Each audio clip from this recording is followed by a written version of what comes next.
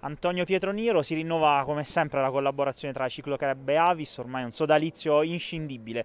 E più persone hanno detto che la bicicletta, oltre ad essere una passione, uno sport, fa bene alla salute e l'Avis, insomma, quando si parla di salute è in prima linea. Certo, noi siamo in prima linea, sempre con la salute, sempre con la donazione, con il Ciclo Club oramai sono anni che questa, va avanti questa collaborazione. Questo è il secondo trofeo Avis che è stato organizzato tra Avis Vasto e Ciclo Club. Purtroppo doveva essere la terza edizione, non siamo riusciti per i noti problemi Covid, quindi lo scorso anno è saltata. Ecco, l'Avis è in grande attività, soprattutto negli ultimi periodi, con la, la nuova sede, tanti eh, soci che entrano a far parte della vostra famiglia, la questione delle donazioni che eh, insomma siete sempre in prima linea eh, in Abruzzo per eh, quanto riguarda le donazioni di sangue. Sì, noi siamo attualmente siamo la seconda sede Avis, quindi la sezione comunale più grande in provincia, la seconda in, in regione.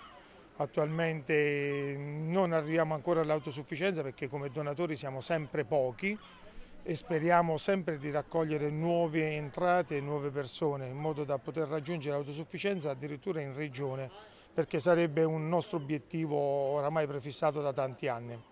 Eh, entriamo nella stagione estiva, storicamente eh, tutti gli anni in estate c'è eh, un appello affinché le, le, donazioni non vengano meno, soprattutto in questo periodo di vacanze, eh, perché poi bisogna sempre tenere alte le scorte. Quindi eh, insomma, in tempi come questi, in cui anche poi dal punto di vista sanitario le cose stanno andando decisamente meglio, bisogna tenere alta la guardia e voi siete sempre un presidio.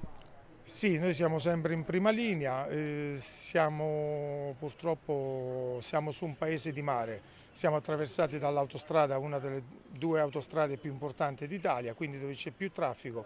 In questo periodo c'è sempre carenza di sangue, quindi noi ringraziamo i nostri donatori per quello che fanno, quello che danno e aspettiamo sempre nuovi neodonatori per aumentare questa cosa, visto che purtroppo tra incidenti stradali, incidenti in mare, incidenti domestici sempre di più è la necessità di sangue.